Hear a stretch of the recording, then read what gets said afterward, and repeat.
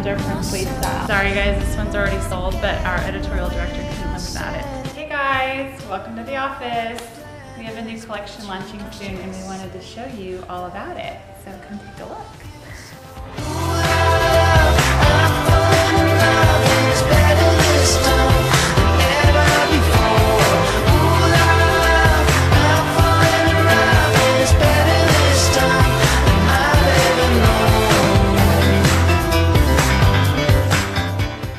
What is your favorite piece from your closet?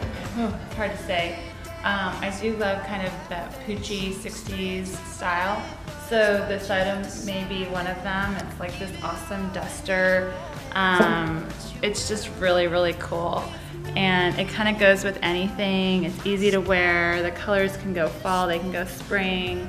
Um, I'm really big on clothes that are easy and transitional, you know? So why did you decide to clean out your closet Eminem style? well, like I said, I just had, you know, it was that time of year, and then I just had all this stuff that I was sitting on, and I do still love them and wear them often, but I like to filter things in. So um, I feel like with vintage, the way I like to buy is more affordable, and so when you look for affordable pieces, you don't mind, you know, swapping them out, or you don't have such a hard time getting rid of some of them. So what is the hardest piece to let go?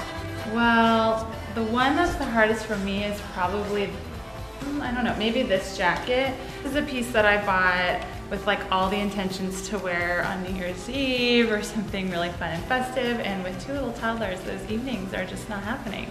So someone else needs to wear it. But I, the idea of what I would do in this may keep me up at night because I absolutely love it. I just have nowhere to wear it. Um, one of my oldest pieces I've had is this stole or like shrug. I bought this in college and I remember it being like an entire paycheck that I spent on it. So it's special memory. I really saved up for it. And it's just a really great piece you can have forever. I've had it like 16 years. I guess can we expect anything else from your closet? Oh yes, I think we should make this a regular affair. It's an excuse for me to keep buying vintage. So check out the collection, enjoy it as much as I have, and uh, know that all of these were bought with a lot of love and have been very taken care of, and I'm excited to see who snags them.